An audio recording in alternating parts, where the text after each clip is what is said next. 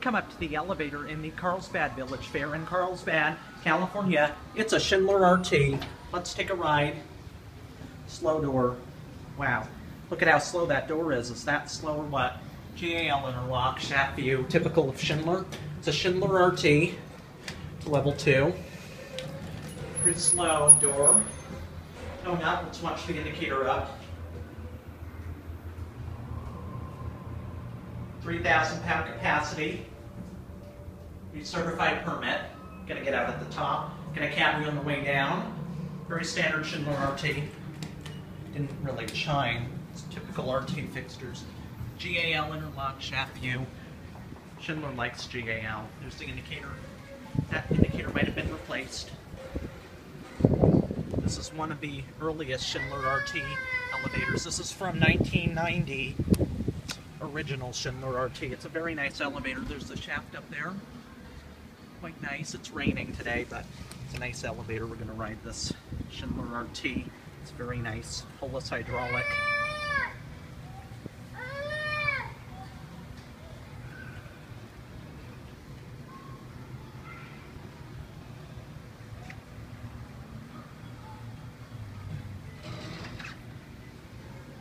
Doors closing. Here it comes.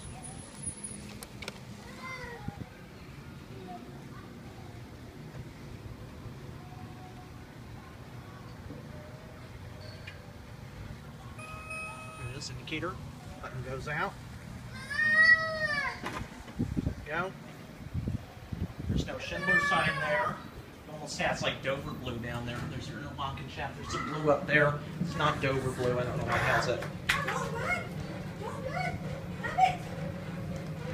Door close button actually works on a Schindler. Let's get you a cap view. Standard nice Schindler RT. Very nice elevator. Sights inside. Very typical.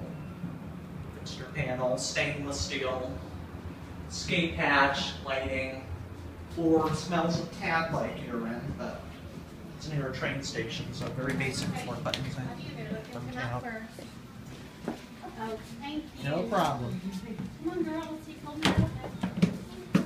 Yeah. And it has an Amtech lock on the door. There it doesn't have Schindler, which is strange. This is a Schindler RT. And it has red sensors and a typical Schindler RT door bumper. Okay, listen to equipment. Very nice motor. Typical Schindler RT motor. Very nice. Typical RT call station there. It says Amtech, not Schindler up there, which is weird. This Schindler RT elevator, you got typical Schindler key switch that they have in RTs and MTs. There you are, and that's it.